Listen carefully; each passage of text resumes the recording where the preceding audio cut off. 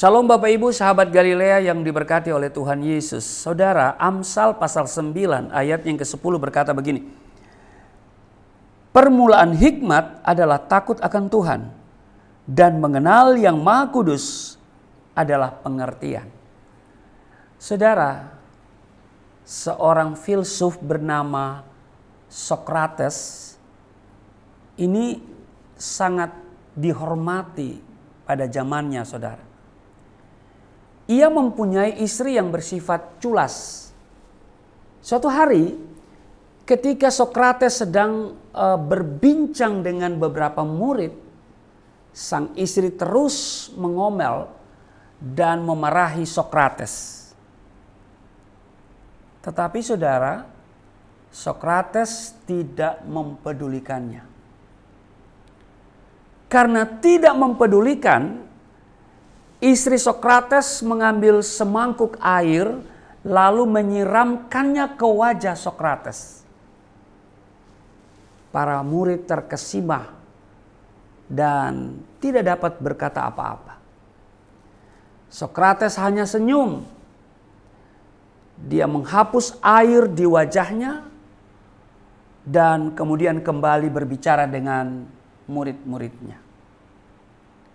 Akhirnya Para murid penasaran dan bertanya, "Guru, mengapa engkau diam saja saat diperlakukan oleh istrimu seperti itu?"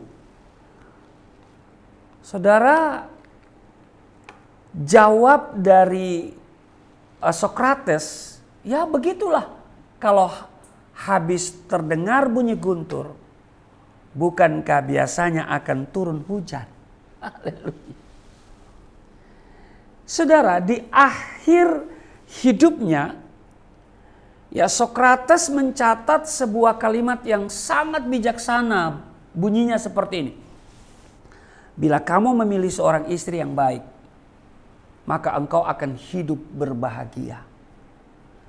Tetapi bila engkau memilih istri yang kurang baik, maka engkau akan menjadi seorang filsuf. Dalam hal hidup ini saudara, kita selalu diperhadapkan dengan berbagai macam pilihan. Pilihan menjadi bagian dari kehidupan yang selalu mengikuti ke mana pun kita berada. Sejujurnya, ada pilihan yang mengecewakan hati, bahkan ada pula yang mendatangkan penyesalan mendalam. Salah memilih, ada yang berdampak kecil, tapi ada pula yang berdampak besar dan sangat mempengaruhi kehidupan masa depan kita. Salah memilih makanan mungkin hanya berdampak kesehatan terganggu, tetapi pernahkah terpikirkan ketika kita salah memilih istri atau suami? Salah memilih orang yang kita percayai atau mungkin salah memilih keyakinan iman dalam kehidupan kita. Pada akhirnya kita menyadari bahwa dalam hal memilih kita membutuhkan yang namanya hikmat Tuhan. Hikmat Tuhan menuntun hati nurani dan pikiran kita untuk memilih hal yang baik dan benar dalam hidup kita. Alkitab mengatakan bahwa permulaan hikmat adalah hidup takut akan Tuhan. Di pasal di Amsal pasal 9 ayat 10 tadi permulaan hikmat adalah takut akan Tuhan dan mengenal yang Maha Kudus adalah pengertian.